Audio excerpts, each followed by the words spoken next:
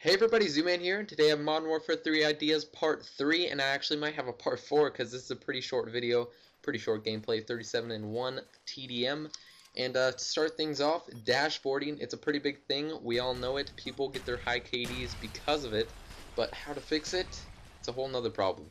Uh, but um, how I think they should fix it is, uh, it's an idea that came from Madden, because I played a couple games before um, in this in this year or last year, of Madden, and they had a feature on there that said did not finish percentage, and I think they should put that in um, the next Call of Duty, which would be Modern Warfare 3. And um, the thing about that, how it would fix it, is if you got a certain percentage, let's say 50% of games not finished, then it wouldn't give you host as much, unless you know you're the only one that would qualify for a decent host. Then um, you know that would work. Uh, but yeah, that's my dashboarding fix.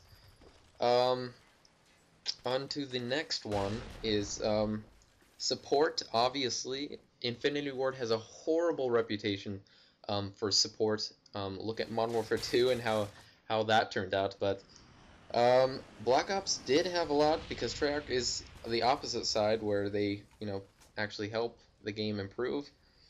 Um, so yeah, better support for the community. I'd also like DL DLC maps.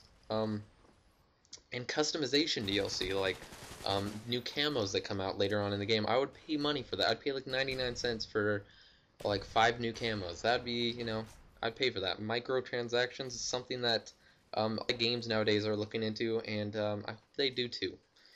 Um, let's see. Let me let me find some on my list. Recoil. They need recoil. I mean, come on. I'm not sure if I did this in my last one, but I'll add it in this one just just in case. Um, recoil needs to be fixed. ACR was a, a great example of why it needs to be fixed. Um, I'm thinking maybe more um, screen shake, um, muzzle flash, uh, less, uh, you know, just a linear pattern of recoil just going up or going right a little bit.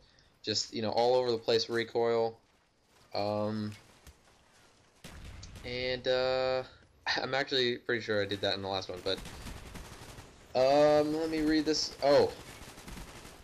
Uh, I hope that they do this in Modern Warfare 3. I hope they add a lot of new additions uh, that help the YouTube community. Things like um, YouTube video, like a section, like a YouTube section. That would be amazing. Just um, go to a sidebar that says YouTube or something.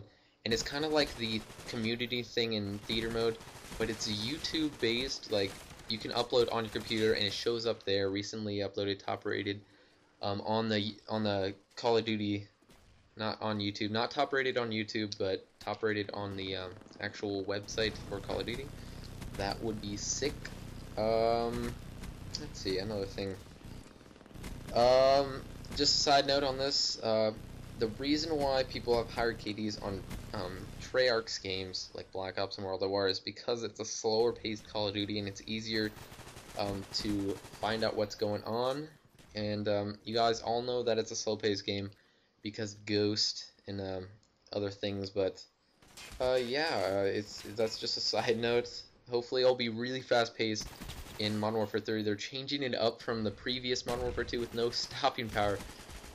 Oh my god, this is this is gonna be an interesting thing because they're changing a lot of things up what they previously did and what previously gave them success. But that is the game, 37 and 1. Hope you guys enjoyed leave a rating and subscribe if you haven't because uh, you know you want to join the zoos, you know.